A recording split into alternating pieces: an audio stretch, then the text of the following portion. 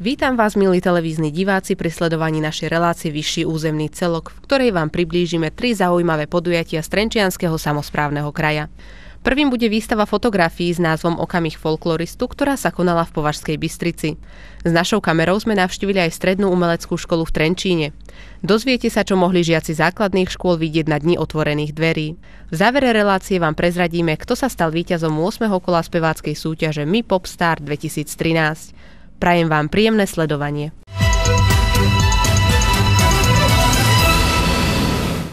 Okamih folkloristu. To je názov výstavy fotografií člena fotoklubu Fénix a bývalého člena folklórneho súboru Považan Tomáša Hlavču, ktorú si môžete pozrieť v priestoroch Kinamier v Považskej Bystrici do konca decembra. Považské osvetové stredisko v Považskej Bystrici v spolupráci s fotoklubom Fénix v podstate každý rok, e, každý mesiac pripravuje výstavy jednotlivých členov fotoklubu.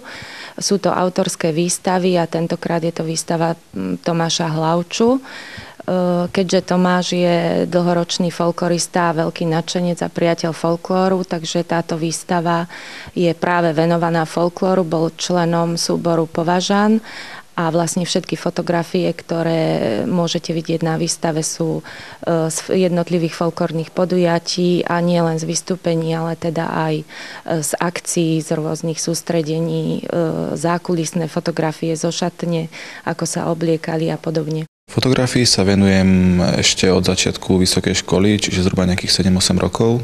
Dozadu som začal. Priviedla ma k tomu taká spontánna zvedavosť. Fotoklubu Fenix som členom jeden rok. Vstúpil som, pretože mal som potrebu stretávať sa s ľuďmi, ktorí majú podobný záujem ako ja a bol to jeden z najlepších krokov v mojom živote, lebo som tam spoznal skvelých ľudí a naučil som sa tam veľa, veľa, veľa, veľa o fotení, čo som si myslel, že už, už naozaj viem toho veľa. Myšlienka vznikla ako, ako, hneď ako som vstúpil do fotoklubu tak eh, hneď tam som sa dostal k informáciám, že vlastne členovia vystavujú, majú svoje autorské výstavy, tak už vtedy som požiadal, že by som rád vystavil práve v decembri, keď má považaný aj Vianočný koncert Názov vznikol preto, lebo ja sa považujem za skôr reportážneho fotografa alebo fotografa, ktorý zachytáva nejaký okamih. E, skúšal som všelijaké štilizované fotenie, ale tie veci mi moc nešli, tak orientujem sa hlavne na túto časť.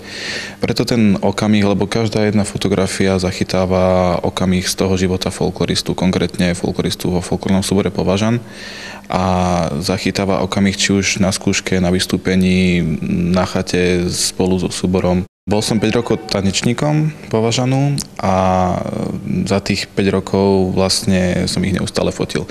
Keďže musím povedať, že fotografia bol, bol väčší koníček ako, ako ten folklor, tak e, som nazbieral neskutočné množstvo fotografií a tento rok som ukončil pôsobenie ako tanečník a rozhodol som sa, že ho završím teda touto výstavou fotiek na výstave môžu návštevníci vidieť fotografie, ktoré sú autorovmu srdcu najbližšie. Vyberať mu pomáhala jeho manželka, členka folklórneho súboru Považan. Za každou fotkou sa ukrýva príbeh, pocit a spomienka. Každá jedna fotka tu obsahuje príbeh, je, má za sebou niečo, lebo je v nej zachytený nejaký ten okamih vždycky, vždycky z toho deja, z nejakého, ktorý sa za ňou deje. Mám jednu, boli sme vystupovať vtedy e, za hranicami v Českej republike a išli sme autobusom naspäť, pršalo, všetci už unavení a jedna tanečníčka sa pozerá von oknom do toho dažďa a je tam ešte v tom okne jej odraz, tak tá na mňa pôsobí vždycky tak pokojujúco, taká, taká príjemná atmosféra z nej ide a to je určite moja najobľúbenejšia fotografia. Vystavené fotografie autor venoval folklornému súboru Považan.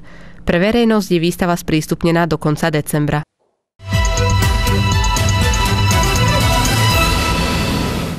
Výber strednej školy je pre žiakov 9. ročníkov veľmi dôležitým rozhodnutím.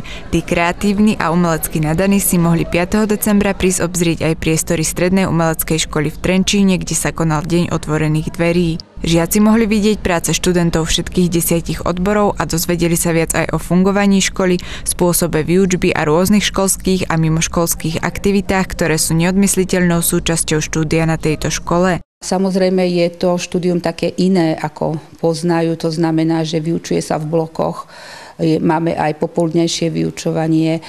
Je to zamerané naozaj veľmi rôznorodo od výtvarnej prípravy, kde sa klasické výtvarné techniky učia cez figurálnu kresbu a potom navrhovanie v konkrétnych programoch.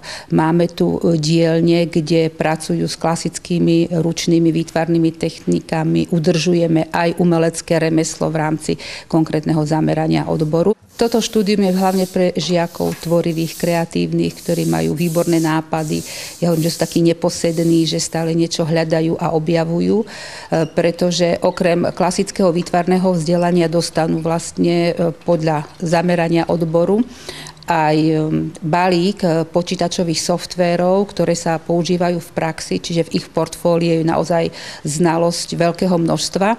Eh, na ktorom potom môžu stavať buď v konkrétnej praxi alebo pri štúdiu na vysokej škole. Pre eh, štúdium na našej škole je typické a charakteristické, že žiaci navštevujú rôzne výstavy, chodia do galérií, do múzeí, chodia na rôzne také profesíne um, akcie, ako je napríklad Mesiac fotografie do Bratislavy, do Viedne, grafici majú svoje bienále, trienále. No a potom v rámci dejín vytvarnej kultúry navštevujú aj E, známe galérie, ktoré sú v Paríži, v Ríme, v Londýne. Vždy sa prestriedávajú tieto odborné exkurzie plus chodia do konkrétnych firiem alebo na prax, alebo len na jednoduchú exkurziu tiež podľa zamerania odboru. Keďže škola má odevnú tradíciu, program Dňa otvorených dverí sa začal už tradične módnou prehliadkou. Ešte stále pomerne značný záujem je o štúdium odevného dizajnu a máme ešte scenickú kostýmovú tvorbu, takže oni ukážu svoje, svoje práce, e, ktoré zhotovujú pri rôznych príležitostiach, súťažiach počas vyučovania absolventi sa naučia dokonale zvládnu remeslo.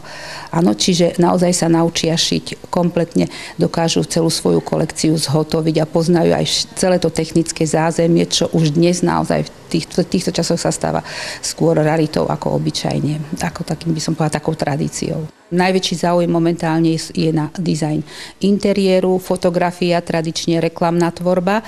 Teraz máme prvý rok otvorený dizajn exteriéru, takže ešte nerezonuje tak v povedomí, ale tiež veľmi zaujímavý študijný odbor, taký súčasný, moderný, reaguje na aktuálne potreby trhu a e, naša škola je vlastne autorom tej celej pedagogickej dokumentácie a máme ho v experimentálnom overovaní. Aj dizajn exteriéru, aj dizajn interiéru. Každý, kto príde, e, dostane do rúk informáciu v tlačenej podobe, taký leták, čo sa dá na škole študovať, ale hlavne, aká je uplatniteľnosť absolventov.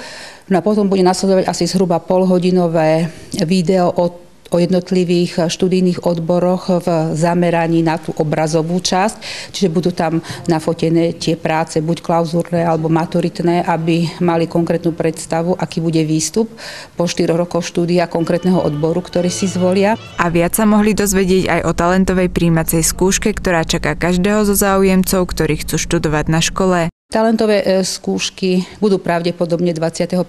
marca a pozostávajú z dvoch úloh. Sú to dve trojhodinové úlohy.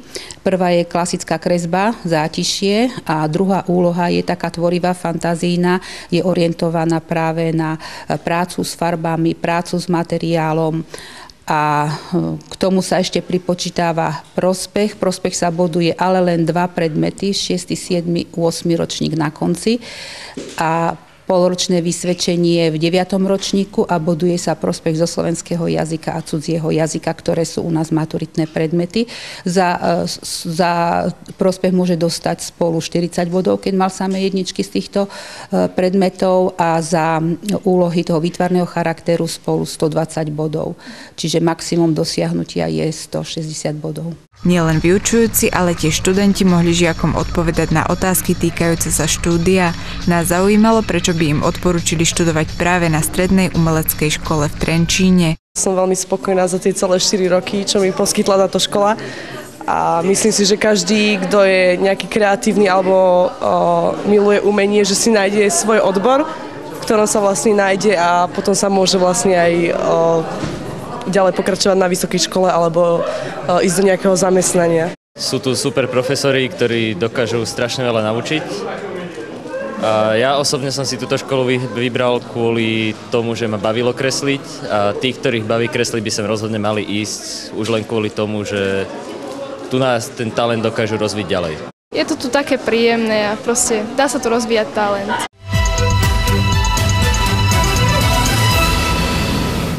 Trenčianskom posádkovom klube sa deň pred Mikulášom stretli talentovaní mladí ľudia. Konalo sa tam finále speváckej súťaže Mi Popstar 2013. Žiaci a študenti zo základných a stredných škôl Trenčianského kraja, ktorí prešli cez okresné kolá a semifinále, sa predstavili pred odbornou porotou. Výhra bola lákavá. Laureát súťaže získa možnosť nahrania vlastného CDčka. Práve je krajské kolo speváckej súťaže Mi Popstar Trenčianského kraja, je to 8. ročník.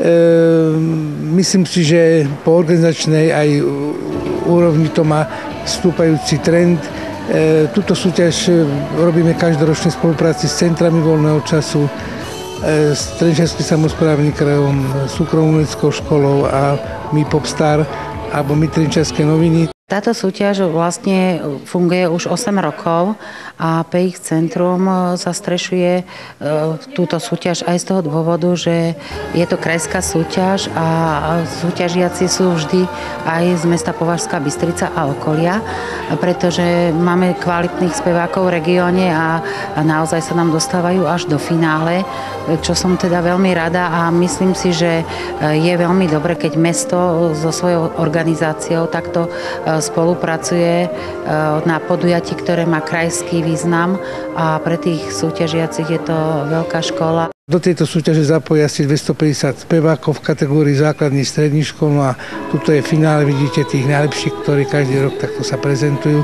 A zároveň chceme umožniť aj tým deťom, ktoré majú krúžky v školách, v centrách, sa prezentovať na tejto krajskej úrovni, aby sme vlastne prezentovali tú mimoškolskú činnosť detí, pretože deti máme šikovné a nech sa prezentujú. Tá myšlienka vznikla takým spôsobom, že vlastne Krajské centrum voľného času, pán Beniček, pani Žalutková z obzoru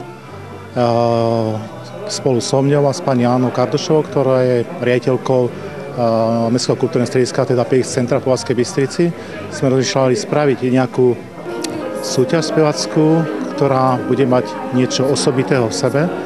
A v podstate sme vymysleli to, že okrem prvého, druhého, tretieho miesta tam bude vlastne laureát súťaže, ktorý si bude môcť nahrať promo CD. Myšlienka usporiadať takúto súťaž vznikla ešte pred 8 rokmi pričom spevácké súťaže sa aj v dnešnej dobe tešia veľkej obľúbe ako zo strany účastníkov, tak divákov. Je to jednoducho trend, ktorý, ja si myslím, mladým ľuďom patrí, speva, tanec. Jednoducho tí mladí ľudia sa prejavujú radosťou, smutkom, takže je to jeden prejav mladosti, ktorý patrí k tomu životu. My ako Krajské centrum zabezpečujeme celé spektrum súťaží vedomostných, športových, zaujímavých. No a v spolupráci práve so, s rejiteľom súkromnickej školy sme prišli takému záberu, že v podstate v tej ponuke pre mladých ľudí, lebo ja si myslím, že mladí ľudia by mali mať čo najširšiu ponuku, aby sa jednoducho mohli niekde nájsť to svoje miestečko vo voľnom čase. Tak sme prišli s myšlienkou, že teda je tu veľa spevákov, tie vtedy začínali aj tieto v televízii, tieto, tak bolo to v trende, tak sme povedali, že aj v Trenčine na tejto krajskej úrovni dáme týmto mladým ľuďom možnosť, aby sa potom mohli pripraviť na tie súťaže, ktoré prebiehajú v televízii. Žiaci, ktorí tu účinkujú, nielenže získavajú skúsenosti, ale je to takou štartovacou čiarou pre nich možno na iné celoslovenské súťaže ďalej, eh, kde reprezentujú opäť, eh, pokiaľ sa dostanú aj z nášho mesta, z Považskej Bystrice a okolia, eh, žiaci až do to, na túto súťaž. Povedzme si, že je to už obrovský úspech a je to takou štartovacou čiarou na celoslovenské súťaže. Tak my sme veľmi radi, že môžeme na takomto veľkom podujatí spolupracovať a tých našich šikovných, talentovaných mladých ľudí ako si nakopnúť na ďalšie súťaže a na to, aby mali ten svoj pomyselný štart taký trošičku ľahší. Prečo si sa vlastne prihlásila do tejto súťaže? No, bola to prvá súťaž tento rok a prišla nám prihláška do Zušky, tak ma pani Šelka prihlásila. Mala som možnosť ísť aj za školu, ale pani Šelka zo Zušky ma prihlásila skôr. V našej škole sú vlastne iba také tri spevácké súťaže. Dve z toho sú ľudovky, čiže a to ja zase moc nemusím, tak asi preto no, bola na škole ako jediná taká súťaž. Pevu sa venujem teraz prvý rok. Som začala chodiť do Zušky, ale ináč tak doma som spievala skoro stále, čiže asi tak. A do súťaže som sa, ma zapojila pani učiteľka, čiže my sme do toho išli tak spolu. Chcela som vyskúšať niečo nové, že ako sa to funguje a tak. Navštevujem aj e, umeleckú školu, kde spievam, tak vlastne vďaka mojej pani učiteľke som tu. Súťažil sa v dvoch kategóriách, od 11 do 14 rokov a od 15 do 18 rokov. Súťažiaci vo finále zaspievali tú istú pieseň ako v semifinále a ich výkon hodnotila odborná porota. Samozrejme, že porote okrem mňa, ktorý ja v podstate zastupujem skôr tú oblasť tej muzikality tých detí a hudby, tak e, sú tam odborníčky, ktoré sú priamo na spev a tie, tie hodnotia samozrejme, čo sa týka intonácie, frázovanie, chýb hlasu, hlase a, alebo pozitívnych vecí. Ja ako predseda poroty v rade hodnotím osobnosť speváka, potom jeho farbu hlasu, talent, ktorý je nezameniteľný. Do poroty samozrejme pozývame aj jak by som povedal, zástupcov ľudu, ktorí majú možno niekedy taký zdravší názor, že, že nešparajú sa, že či to je v intonácii alebo v nejakých takýchto detailoch, ale pozerajú sa svojim, svojim okom na, na speváka ako na nejakú osobnosť. Takže tých 7 až 9 porodcov má možnosť vyberať naozaj z veľkej šírky talentov, ktoré sú tu v Trenčanskom kraji. Návrat súťaže je, by mal byť ten najšikovnejší, ten, ktorý dokáže samozrejme nahrať aj to promo CD a vidíme, že je tam z jeho strany aj záujem sa ďalej proste tej hudbe nejakým spôsobom venovať. Ale hovorím, v prvom rade, prvom rade sa určia prvé, druhé, tretie miesto a laureát tam môže byť len ten, ktorý skončí na prvom mieste buď to prvej kategórii alebo v druhej. A tým, že posunieme na laureáta, tak ten, ktorý skončí na druhom mieste, je automaticky prvý, čiže sa poposúva. Preto vlastne volíme vždy štyroch najšikovnejších. Kvalita súťaže z roka na rok stúpa a to isté platí aj o výkonoch súťažiacich. Určite teraz e, je tá súťaž kvalitnejšia, čo sa týka aj výberu piesni.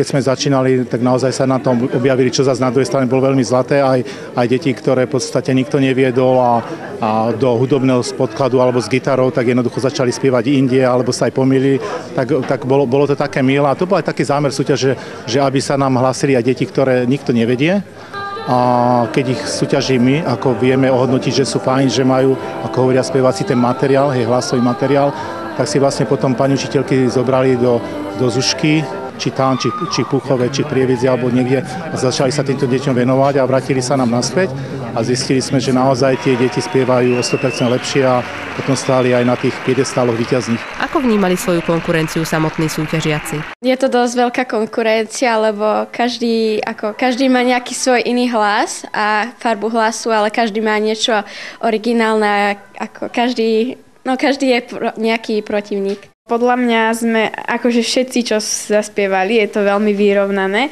a myslím si, že všetci ako spievali veľmi dobre. Vybrala som si pesničku od Adele, But I Set Fire to the Rain a pocity má z nej také zmiešané. Podľa mňa sa mi to aj podarilo, len zase je tu veľa, je tu veľká konkurencia, je tu fakt veľa dobrých spevačiek. Tohtoročnými víťazmi sa stali Jana Viktória Kováčiková v prvej kategórii a Barbora Lenčešová v druhej kategórii. Možnosť nahrať vlastné štúdiové CD získala Denisa Ouseníková. Aké sú tvoje pocity z tejto výhry a ako si ju možno ceníš, váš?